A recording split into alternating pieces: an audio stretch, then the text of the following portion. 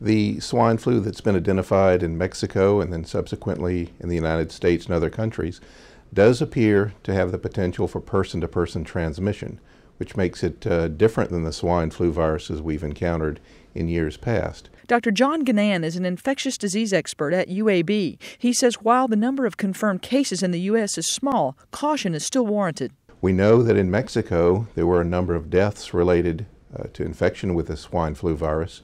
We haven't seen that uh, level of severity yet in the United States, yet I, th- I think there is still significant reason for concern that this is a new virus that the population has not encountered before and that uh, could have the potential for pandemic spread.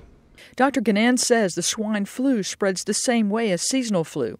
Using precautions like washing hands is your best weapon against infection. Concern and uh, things that we can all do to try to prevent any risk of influenza transmission are things like staying home from work or school if you're ill.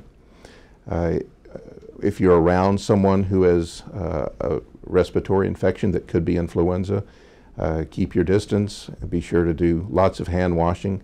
If you yourself are sick, uh, appropriately dispose of, uh, of tissues and try to maintain good, uh, good hygiene to avoid transmitting viruses to uh, family members or colleagues. Dr. Gnann says that early identification of the virus is key and will help to limit human exposure. The epidemic has been identified at a fairly early stage. Uh, uh, steps have been taken to control the spread of the virus by attempting to, uh, to isolate patients, to cohort patients in certain ways to prevent transmission. And so I think that uh, early identification and very prompt public health response can go a long way to limit the spread of this epidemic. And is there something?